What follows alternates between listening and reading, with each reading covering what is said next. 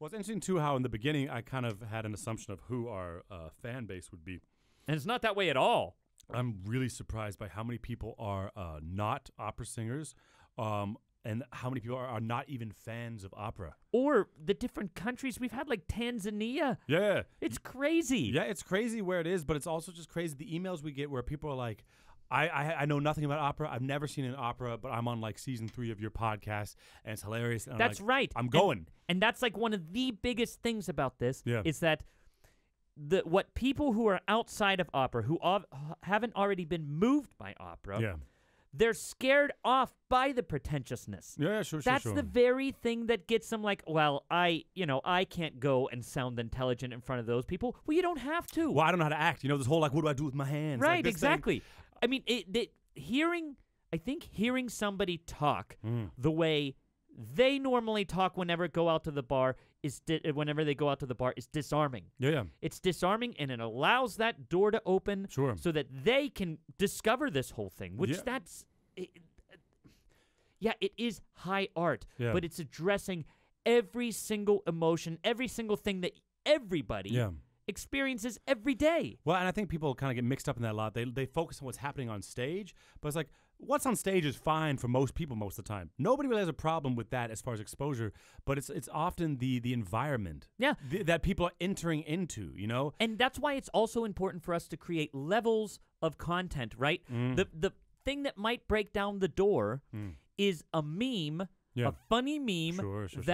Isn't necessarily too specific that only voice majors can understand it, Yeah, but something that another person can can. And once they do that, Mm. then they listen to the podcast and then they learn about Tosca, then they learn about Verdi or Yeah. Wagner or something it's all like about that. like letting them come in, and I mean that's kind of one of the things we've also been doing with these uh, mini operas, more or less. You know, is that like new works are all often very serious, based on something very serious, and that's the trend, which is fine. That's great. But just like Hollywood in the world of movies, there is room for like the raunchy comedy, you know, the college flick, the light film, and the mini operas we do are often funny and light. And know? with language that is immediately accessible as well. Yeah, yeah, we don't clean up the English, both with the words we use, but also we don't do this like singer's diction, like this That's of stuff. important, dude. And when people talk about evolving the art form, it's it's not always necessarily like people tend to talk about like like like the art form is going to change, but I think of more like the entire art form grows. Yeah. And there is always room for the Mozart and the Verdi and that sort of stuff. And you can always do it with the powdered wigs and you Right. can always have the gala with the fancy dresses. Like that's fine.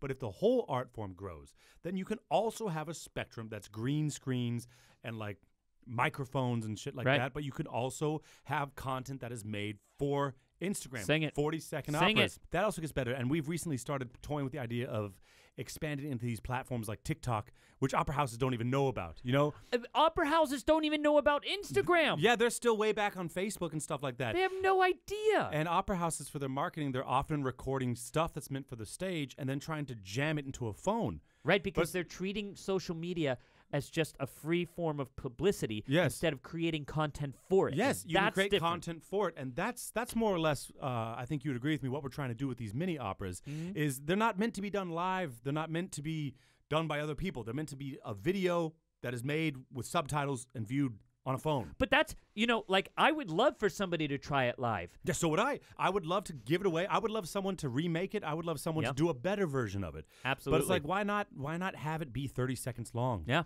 You know, opera. One of the things about opera is like when people, and they're right when they do these outreach for kids and stuff. They always have someone go. They sing for kids, and it's like the sound alone is immediately accessible for people. It's immediately interesting.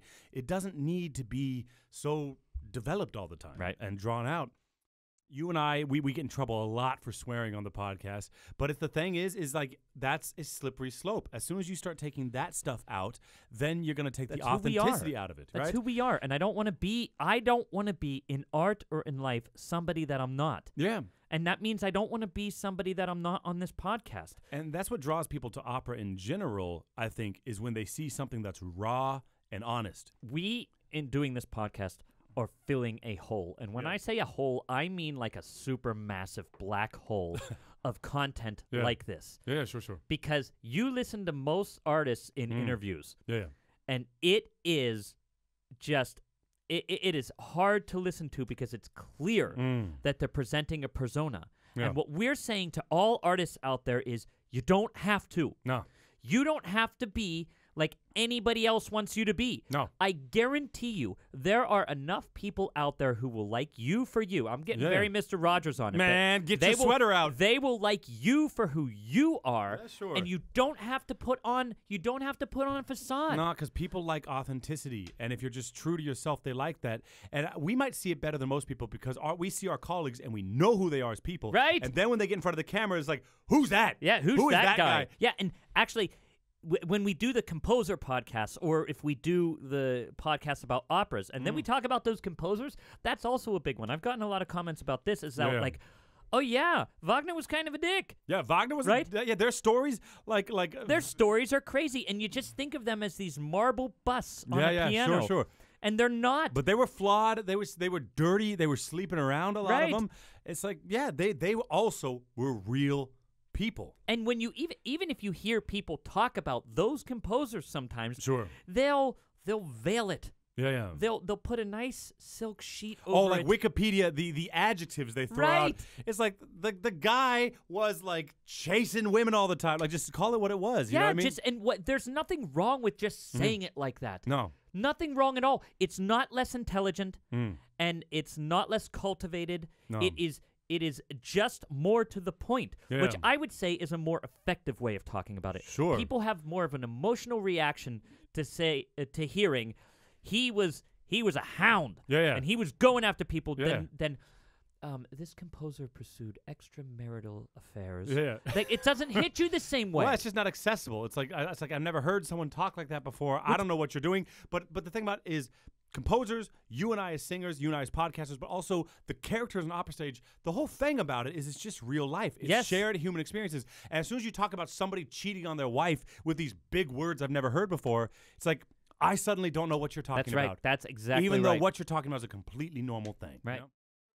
The movie theater Well, that's again. the funny thing. That's the funny thing is is uh, in today's world because it's changed so much with this like crowdfunding and Kickstarter way of like raising money and supporting the arts. Is it's new. It's very new. The idea of like if you want to support uh, a cause you believe in, something that you think is good, you can you can directly put the money into the hands of the people doing what you're interested in. Absolutely. You can write them an email and be like, "Hey, like what are you doing?" Take my money. But when you throw your money at, a, at some huge organization, it's just a drop in the bucket, and it's going to sort some kind of bureaucracy. You know, Mm. Yeah, it's yeah. going to it's going to something that doesn't necessarily mean. Actually, if you give five euros or if you give five dollars to the Met. Not the, not the. I mean, if you want to give to the Met, give to the Met. Yeah. Mm. But what that money is probably going towards is paying for a plaque that is used to put the name of a bigger donor on some chair. That's what that's Yeah. going for. Yeah, no, it's true. I, I think about it all the time. Like, if you really want to support the arts, it's like two euros in the hand of a street musician is gonna do more for the arts as a whole than five euros thrown into some giant bucket. Absolutely, because it's know what I mean? spontaneous. Nobody told us to do this. Mm. It's completely spontaneous produ- uh, production of the arts, and we are. I mean, we're bleeding for this shit. Yeah. We're bleeding for it. I mean, Sure, we sure. take we take our time where we could be doing any basically anything else, Mm. and gearing it towards the creation of content that people can consume for free. Yeah, yeah, Whenever somebody then decides, okay, they don't have to do it for free, Mm. we can help them yeah. it makes everything possible. Yeah, it sure, makes sure, the sure. world open to Mm. possibilities for Mm. us. Well, it's also nice. Thanks, guys. If you're looking for a way to sponsor us, we actually have a wide range of ways to do that. Yeah, just head over to our website and you can uh, support us on Patreon. That gives you access to our secret sponsor podcast. Uh, if you want to make a one-time donation, you can go to Buy Me a Coffee, or, or you can buy some stickers too if you want something back for your money. Also, that helps us out greatly. So, thanks again for taking the time, and we hope guys. you check it out.